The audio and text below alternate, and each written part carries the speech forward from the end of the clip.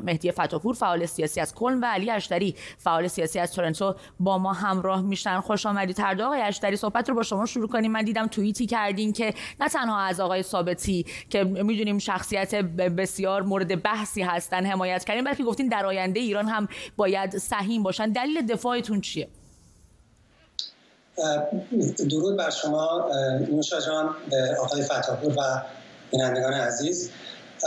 ببینید ما وقتی داریم صحبت از همبستگی می‌کنیم برای براندازی جمهوری اسلامی و در این همبستگی همونطور که شاهزاده رضا پهلوی و دیگر همراهانشون در نشست دانشگاه واشنگتن جورج گفتن واقعا این اتوبوس مجانی هست و همه هر کسی که اصول اساسی سکولار دموکراسی برای ایران حقوق بشر تمامیت ارزی و نوع انتخاب حکومت به دست مردم رو بپذیره می‌تونه سوار این اتوبوس مجانی بشه.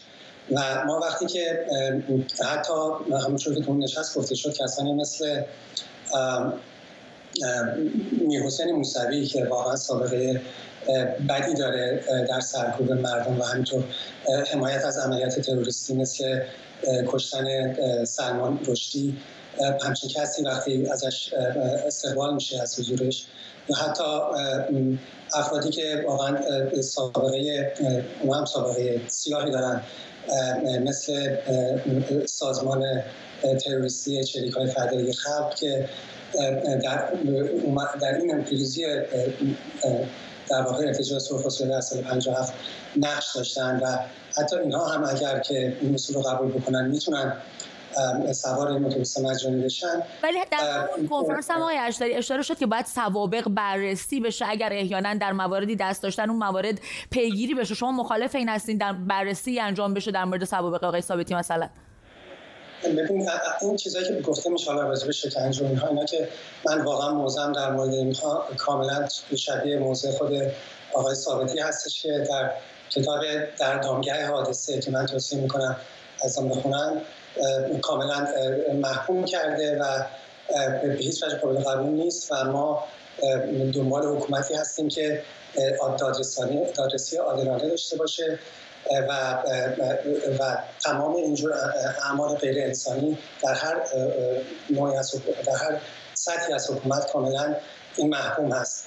ولی خب این چیزهایی که راجع به سابق گفته میشه اکثرا به خاطر دروغ و پروپاگاندایی هستش که سابق گفته شده. پس همینجا از آقای فتاپور که خودشون در زمان شاه زندانی بودن زمانی که ساواک همچنان بر سر کار بود بپرسیم. آقای فتاپور این صحبت های آقای اشتری رو بسیاری میگن. از جمله میگن که برخورد ساواک با کسانی بوده که می‌خواستن عملیات تروریستی انجام بدن فعالیت مسلحانه داشتن بعضا بمبگذاری کرده بودن.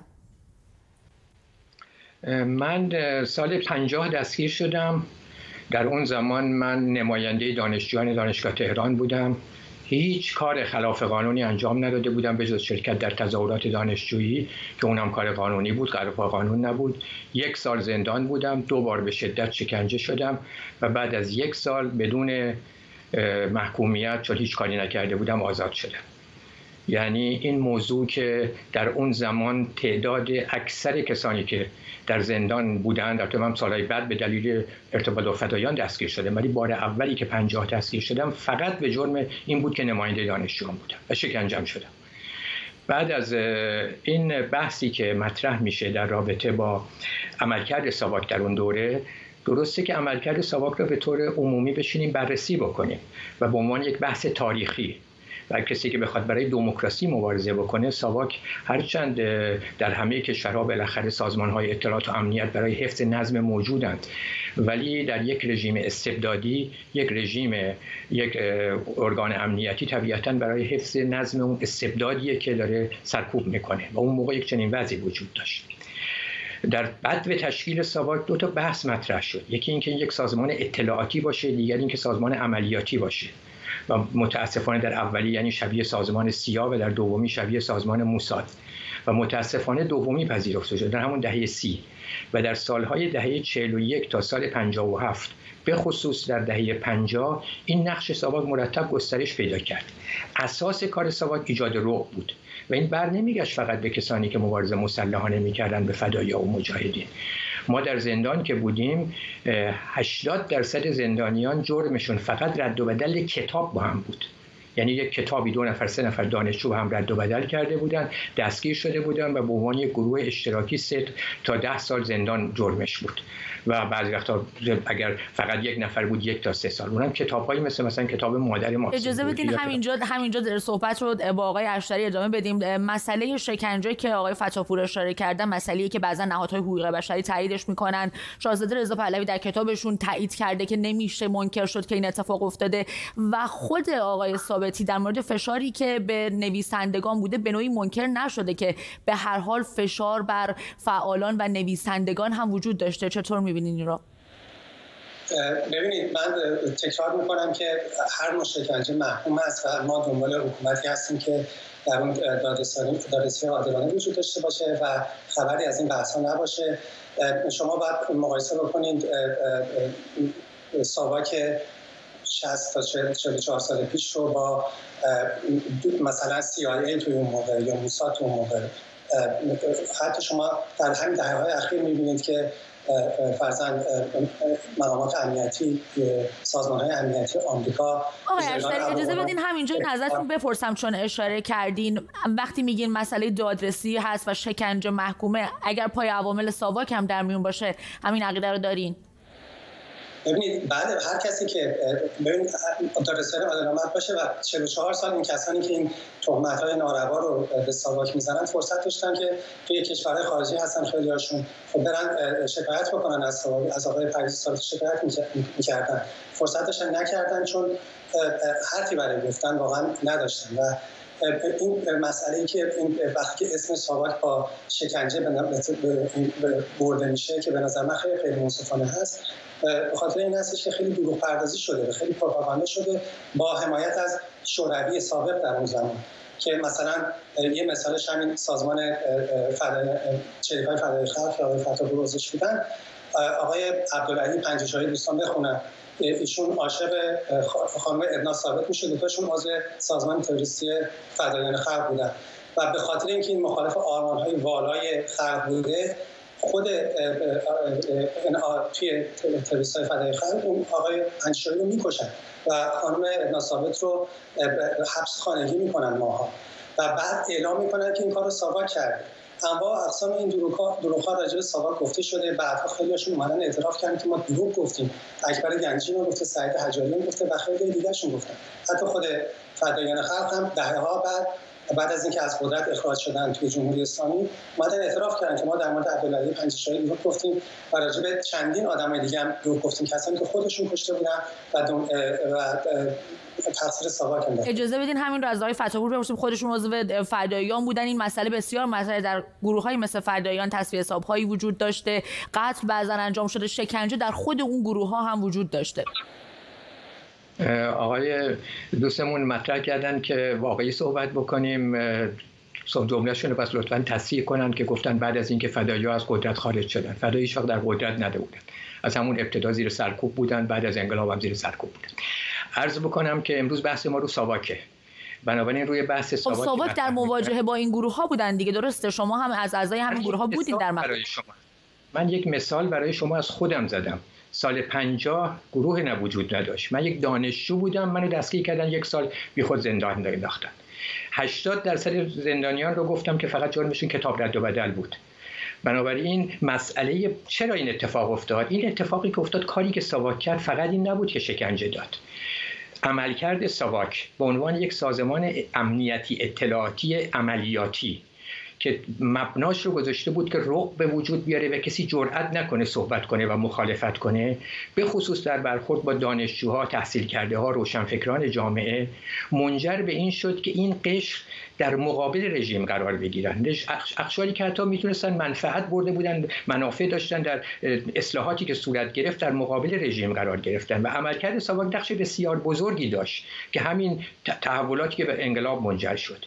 دومین موضوع که از این پر اهمیت تره وقتی یک سازمانی اینقدر قدرت پیدا می‌کنه که می‌تونه شکنجه بده هر کسی رو دستگیر بکنه بهش اختیار داده میشه در این جهت و عملیاتی هستش هم اطلاعاتی هم عملیاتی است و بهش اجازه داده میشه که در زمینه اطلاعاتی حتی در درون رژیم کار بکنه. در کتاب خود آقای ثابتی این مسائل منعکس شده که چطور در راجع به افرادی که در درون رژیم مسئولیت دارن گزارش داده میشه و در اون شرایط که متاسفانه شاه به دلیل نقش فردی که پیدا کرده و در تمام کشورهایی که نقش دیکتاتوری یا استبدادی نقش فرعی پیدا می‌کنه یک چنین امری پیش میاد که کسانی که تملقو هستن همیشه می‌خوان ایشون رو تایید می‌کنن و در نتیجه مثلا نسبت به اتفاقاتی که در نقد ایشون میفته گزارش میدن منجر به این میشه که هر کسی که در زمینه سیاسی صاحب نظر هست. و می‌تونه هدایت بکنه سیاست رو نسبت به این که بالاخره آدم شخصیت دار یه جام انتقاد می‌کنه. یه گزارشی ازش داده میشه گذاشته میشه جلوی شاه و تصویه میشه. نتیجه این کاری میشه که وقتی شاه بیمار میشه سال 57 ما یک شخصیت سیاسی در یک چنین رژیمی نداریم که بتونه هدایت ولی آقای فتاپور خیلی کوتاه اگه پاسخ سوال من اون قسمتی که مربوط به اینه که فدایان هم در خودش داشته که من جواب این رو بگیرم واقعا فدایان می‌تونیم خیلی نقد داشته باشیم. ولی فن نقد فدایان منده خودم یکی از ناقدینم در این زمینه در حد کتاب مطلب نوشتم. ولی نقد فداییان بر نمیگرده به مسئله بحث کردن و نقد ساواک ساواک در مورد تمام جامعه در مورد روشنفکران نویسندگان دانشجویان در مورد در ضمن چریکا سیاستی که پیش می‌بره صرفا سیاست سرکوبه و من نقش دیگه رو دارم میگم که دارای اهمیته. این منجر به این میشه که سال 57 ما در این کشور یک سیاستمدار نداریم که بتونه هدایت بکنه. اجازه بدین آقای اشعری هم نظرشون رو بپرسیم. مسئله که آقای فتاپور میگن مسئله خیلی بود آقای فتاپور اجازه بدین آقای اشتری هم پاسخ بدن. مسئله که آقای فتاپور میگن مسئله خیلی بوده. مسئله این که فقط در مواجهه با این گروه هایی که مسلح بودن اون موقع نبوده. در برخورد با بقیه هم برخورد ساواک برخورد یک گروه. باید قانون باشه. خیلی چیز بود ولی اجازه بدین پاسخ آقای اشتری بشنویم. مرسی. ببینید ساواک برخورد برخوردش با روشنفکران آن صاحب نظر سیاسی اینا نبوده. با تروریست ها بوده گرچه یه همپوشانی خیلی زیادی هم قبل از انقلاب اینا با هم داشتن. یعنی دانشگاهی بودن ولی خب تروریست هم بودن. و مقابل شما باید نگاه بکنید به اینکه بعضا نویسندگانی هم بودن که هرگز دست به اسلحه نبرده بودن ولی فعالیت های سیاسیشون حالا به صرف اینکه فکر می‌شد حالا اینا اینا بحثاییه که هر دو طرف قضیه رو بعد و توی این مدت همیشه چون تاریخ رو فاتحان می نویسن دیگه. اون کسانی که توی انقلاب پیروز شدن نسخه خودشون رو گفتن و خیلی مدسوی شده در این زمینه. ولی خب که شاهزاده رضا پهلوی هم خودشون توی کتابشون اشاره کردن به این موضوع ندیدیم با همین مصاحبه چند بار محکوم کردم. و شما باید بعد نگاه بکنید که دو تا نخست وزیر کشته شدن. دو تا نخست وزیر ایران ترور شدن توسط این گروه تروریستی.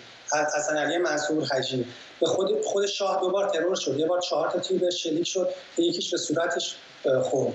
اینا ساواک برای مقابله با این ترورهای جدی این خطر تروریستی جدی خود گروه تروریستی فدایان خلق به بانک حمله می‌کرد. آقای داوود خسروشاهی رئیس بانک صادرات شعبه تهران نو سی هزار دلار از اون بانک دزدیدن با دزدی مسلحانه و ایشون رو کشتن. آقای عادل جسمی راننده تاکسی بود. این فدایان خلق بمب منفجر کردن و کشتنش. اینا مسائل هی نباید وقتی بحث ثابت میشه برد به روشنفکران و شاعران و نمی‌دونم این بحثا ما بحث های جدی ترور داشتیم. اجازه بدید این بحث با آقای فتاپور خیلی کوتاه آقای فتاپور اگر ممکنه در سی ثانیه بگین. مسئله اینه که در اون زمان ساواک فکر می‌کرده با یه همچین سیستم این طرفه که آقای اشتری داره میگه. من مثالی که براتون زدم در زمانی هست که سازمان های فدای مجاهد وجود ندارن. تازه تأسیس شدن در مورد خودم شخص خودم که دستگیر شدم و تمام دانشجویانی که زندان بودن. شما برگشتین رهبر فدایان خلق شدین آقای فداپور سال بعد من وقتی از زندان آزاد شدم سه سال بعد به سازمان فدایان پیوستم. یکی از دلایل میگن قبل از اینکه فعالیتاشون شروع کنن یعنی به سمت اینکه به این گروه ها بپیوندن عملکرد ساواک بود. به خاطر یک دود کتاب می‌گرفتن زندان مینداختن. من چند تا مثال براتون بزنم. در جامعه در کشور ما یه آدمی به نام سیروس نهاوندی دستگیر میشه. ایشون در زندان میپذیره که با ساواک همکاری بکنه. آزاد میشه. میره یه گروه تشکیل میده. این گروه افرادش خودشون آدمایی هستن که مخالف رژیمن. ولی عملا گزارشاشون که میدن توسط آقای سیروس نهاوندی می‌رسه دست ساواک. یعنی دارن برای ساواک کار می‌کنن در عمل. می‌فهمن که هم چیزی. یکشون می‌فهمه. جلسه می‌ذارن که تصمیم بگیرن. آقای سیروس نهاوندی مطلع میشه به ساواک اطلاع میده. این شش تا نشسته بودن تو خونه که آقا ما سرمون کلا رفته. اومدیم تو این گروه. آدمایی که از خارج کشور اومده بودن. نه مسلح بودن نه مبارزه مسلحانه قبول داشتن. نه اصلا گروهشون گروه ساواک بوده در واقع. هر شش تا رو تو خونه میمندن به رگبار مسلسل. تو همه اسناد هست. اجازه بدید صحبت های آقای اشتری هم بشنویم. خیلی فرصت محدود آقای اشتری. شما در 30 ثانیه لغو. اگر قراره اگر قراره که راجع به دموکراسی فعالیت اجازه بدین آقای فتاپور نکتهتون رو گفتین صحبت آقای اشتری همین الان بی آی سی آی ای موساد به انواع اقسام شکنجه کارهای غیرقانونی اینا متهم هستن که خیلیاش خیلی واقعا در مقام مقایسه شما باید ببینید که واقعا حالا این سازمان های تو کشور دموکراتیک واقعا بیشتر تخطی کردن از قانون یا مثلا ساواک ولی خب این این چیزی هستش که ما هیچ وقت فرصت نداشتیم که واقعا بررسی بکنیم و حالا من خوشحالم که بعد از مدت ها با انتشار یه عکس در یک در یک تظاهرات اون اون بچه ماجرا که تو تمام مدت هیچ تریبونی بهش داده نشده بود هم تونست بیا صحبت بکنه و نسخه حقیقی تر ماجرا که تا حالا به خاطر پروپاگاندا واقعا شنیدن نشده بود رو ارائه بده. سپاسگزارم از هر دوی. شما